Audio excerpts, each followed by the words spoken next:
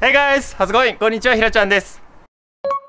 はい、こちらはですね、NV350 っていうキャラバンなんですけども、先日こちらの車を、えー、雨漏りのね、雨漏れ雨漏りの、えー修理をね、えーさせてもらったんですけど、無事雨漏りは治ったらしいんです。でもねその雨漏りの修理をしていた時にですねちょっとタイムリミットが来てしまいましてオイル交換ができなかったんです。なので今回はこちらの車のオイル交換を、えーやっていきたいと思います。オイル交換自体はそんなに難しくはないんですけどもオイルのフィルター交換がこれすごく大変なのでどこにあるのかとかどうやって交換するのかっていうのをですね今回ね解説しながら、まあ、動画としてねまとめていきたいと思います、えーよかったらね最後までお付き合いいただけたらありがたいなと思います。まずこの助手席側を持ち上げます。これねカーペットをめくるとこういうフックがついてるので2箇所あるのでねこれを外してあげます。そうするとねここが持ち上がります。でねヘッドレスト外さないと倒せないというか持ち上げられないんでヘッドレストは外します。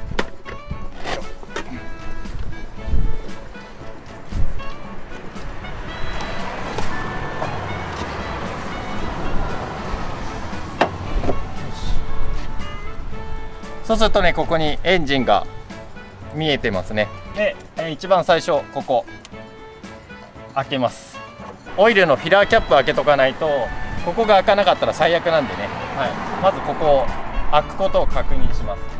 はい。でね今回はフィルターも交換するのでフィルターの位置っていうのがこれ不思議なところについてるんですえー運転席側の、えースライドドアを開けてですね運転席の後ろのここここにいます。ここのねここの蓋のところにいます。ネジが4つで止まってるんでこれを外してあげます。はい、えーカバーは剥がしました、えーそうするとですね奥にフィルターがいるんですけど見えるかな？これがオイルフィルターですね。これこれ。この今正面に見えてる真ん中にね見えてるものがオイルフィルターになります。これを外します。はいそれでねオイルフィルターを外すにはですね専用のこういうあのオイルフィルターレンチっていうのが必要になります。これがないと絶対に外せないですこの車に関してはこれが絶対必要です。ほら日産キャラバン用って書いてあるでしょ？でこれであの上にかぶせて回して外します。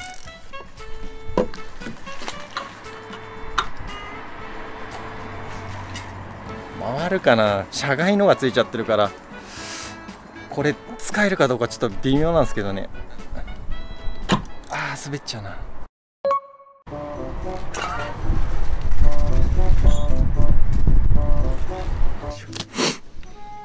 見えてるかな？こんな感じにしてフィルター外します。よし。こうすれば回ってるのがわかるかな？よいしょ。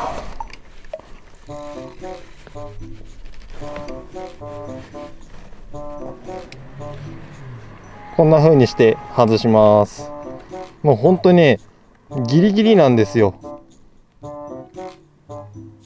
スペースがななさすぎて。なのでもうねこのね専用工具とラチェットが1本入っていっぱいいっぱいみたいなね。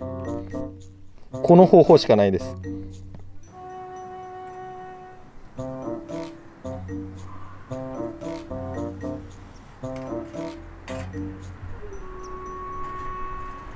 はい。オイルフィルター外した後ねこうオイルだまりができちゃってるんでこんな感じで。オイルが溜まってるんでここはね注射器とかあとはスポイトとかでこの溜まっちゃってるねオイルは吸い取ってあげます。はい、えースポイトでね吸い取ってウエスで綺麗にしました。ね油だまりがなくなってるでしょ。でここでねあのブレクリとかを使っちゃう人もいるみたいなんですけどブレクリはね使わない方がいいと思います。なんでかっていうとオイルのラインがこここのね飛び出してるものとその周りなんですけどオイルのラインがあってそこにブレクリが入っちゃうんでここはねあのー完全に綺麗にしたい気持ちはわかるんだけど、まあ、ウエスで綺麗になる程度の方がいいと思います。はい。無駄なねあのー不具合を起こしても意味ないのでここはブレクリはうんとフィルターついた状態だったらまだマシかもしれないですけどフィルターがついてない状態でブレックリとかは使わない方がいいと私は思います。はい。そしたらねこのフィルターのパッキンのところにねえー、油か私はいつもシリコングリス塗ってるんですけどシリコングリスとかねそういうのをつけてまあ次外せるようにしてあげてね、えー、これを締めていきます、えー、ちなみにこれはですねえ、っと日産系列のねピットワークっていうところがあるんですけどそれの、えー、AY100NS034 か、うん、っていう型式のやつなんですけど、えー、純正形状こうなってるんですよ。こうこういうのね。はい。で今回外した車外これなんですけど外れないな。こういう形状してるんですね。今回外した車外のオイルフィルター。これなんですよ。なんとか外せたからいいんですけど形が全然違うじゃないですか。このキャラバンに限っては純正形状のこのぴったりはまるようにでしかも力が加わるようにわざわざこうやって細かく切ってあるんですよ。これこれ用に出来上がってるんですよねフィルターが、うん、悪いこと言わないんで他のが入っちゃったとしてもこれは純正形状のやつを使った方がいいです。今回外れたから良かったですけど外れなかったら地獄なんであれ。もう他の工具が入らないんですよ。つけるときはいいですよ。楽だから。つけるときは手で締めるからね。今回ほんとすげえ苦労したんですよ。ここに至るまでに1時間以上かかってんで。同じ車乗ってる方いらっしゃったらあの純正形状のフィルターで交換した方がいいと思います。多分あのディーラー多分ねディーラーとかでも純正形状とかじゃないとすいません。無理です。フィルター交換できませんわっていう風に多分さじ投げられちゃう可能性あるんで。こういう工具がね入って締め締めたり緩めたりできればあのー、やるんですけど整備士もやるんですけど入らないとねもうお手上げになっちゃうんで外す時が問題なんでね。はい。是非キャラバン乗られてる方もし DIY でやるんだったらこういう純正形状ではいお願いします。ちなみにこれ定価でね1400いくらだったっけな？1500円ぐらいで買えます。こんなに大きくてもね。車外のねつけてねトラブル起きるぐらいだったらあのー、純正形状使った方のが絶対いいと思います。はいシリコングリスつけてね。薄く伸ばしてあげて。これではめていきます。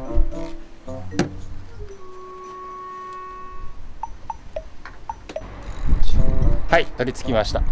手で閉まるぐらいでちょうどいいと思います。でこの車でオイル交換で大変なのはここぐらいです。あとはもう結構楽なんで。まここさえ終わっちゃえばね下でカバーを剥がしてねオイル抜いて上から入れて終了みたいなね。ここで約7割です。オイルのドレーンはよいしょ。下潜っていって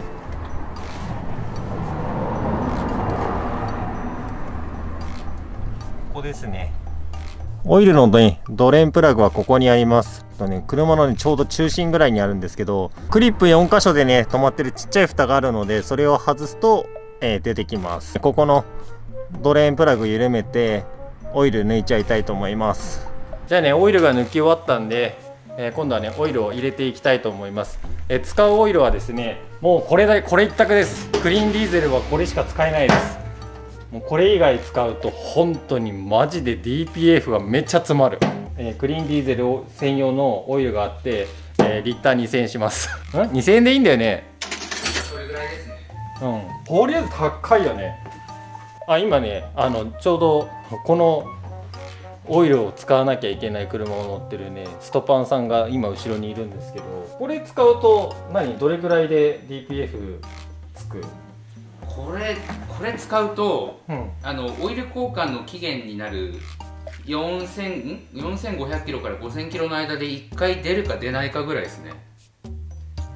出てもそんぐらいです、うん、前の何でもない別のクリーンディーゼルのオイル使った時は、うん、500キロとか1000キロに1回出てましたからね。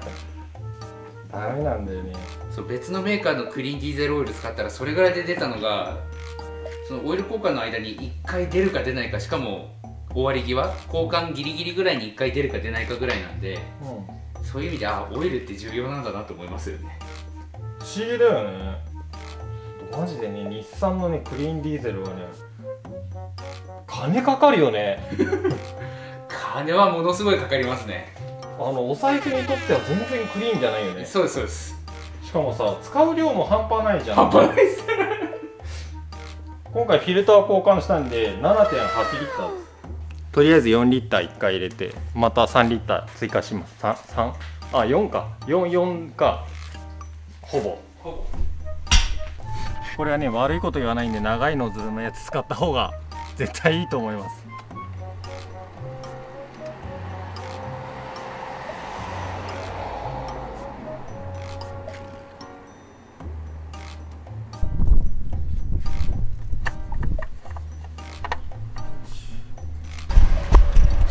じゃあエンジンかけてねちょっと油圧かけます。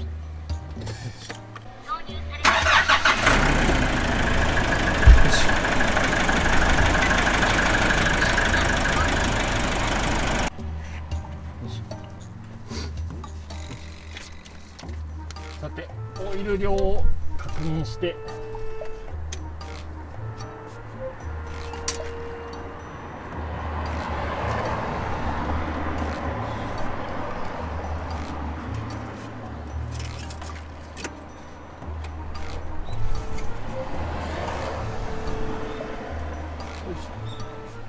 はい OK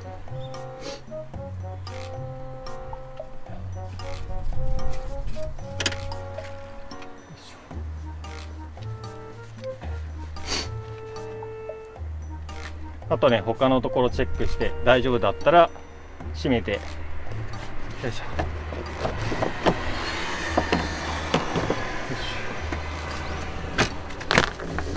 ょ。オイル交換完了と。今日もう1台あるんでねはい。納車したらまたもう1台持ってこなきゃなんですけど。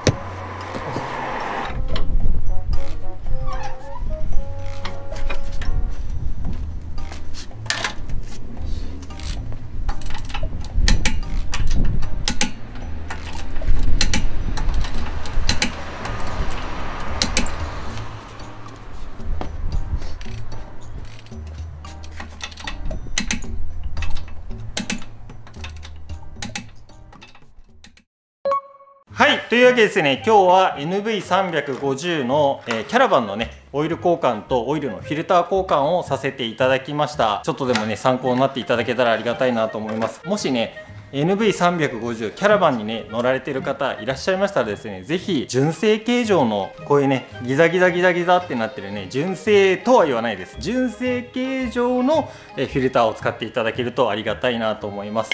はい、あの整備する側からの気持ちなんですけどあのフィルターっていうのはですね基本的にこの中のネジのこれネジですよねネジネジの大きさそれからネジの山のピッチっていうんですかそれからこのパッキンの大きさこれがあってさえしまえば何でもくっついちゃうんですよ。だってうちのダッチラムあるじゃないですか。あれついてるのはダッチラム専用じゃなくてトヨタ用のフィルターがついてるんですよ。